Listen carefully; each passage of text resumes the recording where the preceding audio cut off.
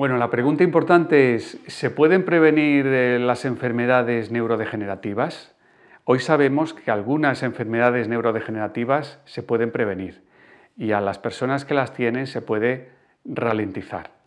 Se puede prevenir en parte la enfermedad de Parkinson y se puede prevenir en parte la enfermedad de Alzheimer. ¿Cómo puedo eh, hacer que dentro de 20 años tenga una reducción del riesgo eh, para estas enfermedades? Pues hay dos métodos. Primero, aprender, porque al cerebro le gusta mucho aprender. Eh, en general, los humanos aprendemos cuando somos niños, cuando somos jóvenes, pero no cuando somos adultos, y eso es un error. El cerebro actúa y, responde si aprendemos. ¿eh? así que es, un consejo básico para cualquier persona que quiera reducir el riesgo de Parkinson. Aprendan.